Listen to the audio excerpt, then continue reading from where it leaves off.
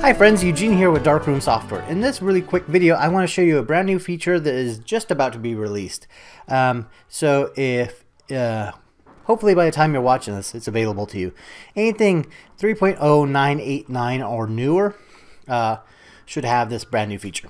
So what we're talking about is um, under the post to event gallery options right here, there's a new option also upload original photos. So if you check that little box, that little box, and uh, click OK, that's all you have to do.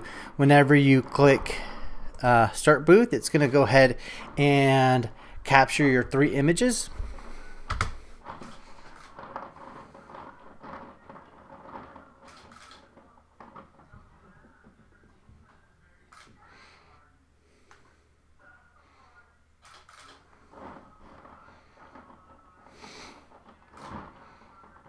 I got a little man playing with his marble run upstairs.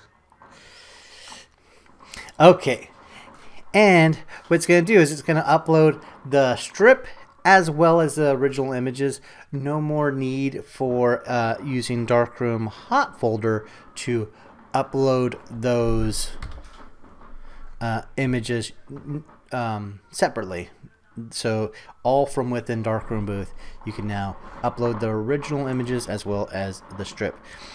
Now I did test this with um, using the GIF option, and when you do that, it disables the upload of the original images. So this only works whenever you upload the strips.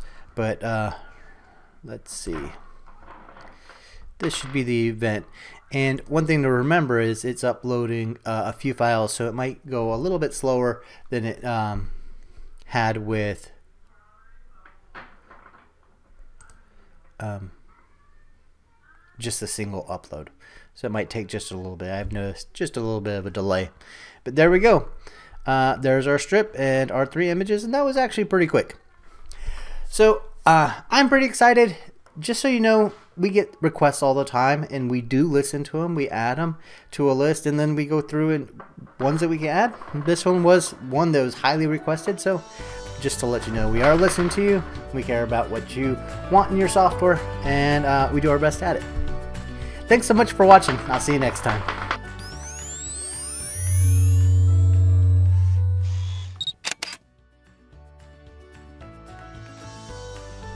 Thanks again for watching.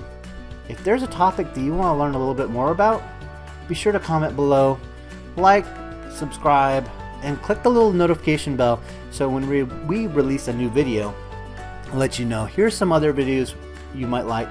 Most importantly, thanks for being a customer. I'll see you next time.